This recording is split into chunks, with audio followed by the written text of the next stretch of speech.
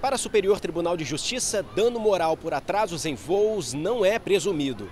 A indenização só é possível se for comprovado algum fato extraordinário que tenha trazido abalo psicológico ao consumidor.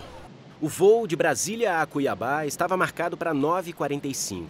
Agora está previsto para meio-dia e 40 a companhia aérea buscou minimizar o transtorno com um voucher de alimentação no restaurante do aeroporto. Mesmo assim, Francisco afirma que deveria ser indenizado por danos morais. Felizmente eu não, não tenho compromisso, sério. Então eu tenho compromisso de chegar em casa, eu marquei para chegar. Mas eu acho que eles deviam ser penalizados sim, por, porque penaliza os passageiros quando eles atrasam. Se eles não chegar no horário, uma hora antes, eles não, não conseguem fazer check-in e complica tudo. No final você não viaja e perde a passagem.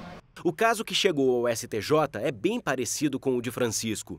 O passageiro estava com voo marcado de Juiz de Fora a São Paulo. O embarque seria às 6h45 da manhã.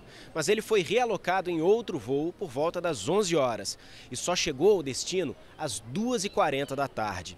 O consumidor entrou na justiça alegando danos morais e pediu indenização da companhia aérea.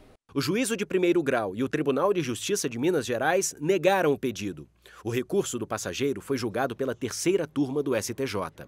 A relatora, ministra Nancy Andrighi, afirmou que o passageiro não conseguiu comprovar o dano moral e, por isso, confirmou a decisão do TJ Mineiro de que não cabe indenização. Segundo a ministra, o julgamento deve levar em conta o esforço da empresa para solucionar o problema. Por exemplo, prestação de informações claras e precisas ou fornecimento de alimentação e hospedagem.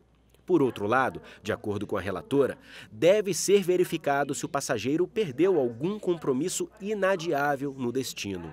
Foi o que aconteceu com o Tiago. Tem compromisso marcado lá, cara. Tem uma reunião duas horas, era para me chegar lá meio-dia agora, entendeu? Eu paguei mais caro no voo justamente para mim ter um tempo menor entre uma escala e outra, entendeu? Aí agora que eu vou ficar aqui mofando aqui dentro do aeroporto, vai saber que hora que eles vão me colocar num voo para Uberlândia.